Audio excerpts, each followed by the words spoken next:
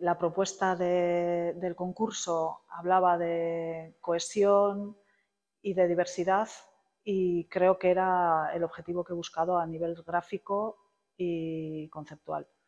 Y a través de los colores y las formas, de una manera un poco abstracta, intentaba recoger eh, la idea de la cohesión, de la diversidad, eh, en una imagen que sea limpia, alegre y que también nos recuerde a, la marca en sí, que sería el árbol. Distinguiría dos tipos de trabajo que realizo, que uno sería el diseño gráfico y otro sería la ilustración. Yo creo que dentro de la ilustración trabajo más desde el color, la sugerencia, más que la representación directa.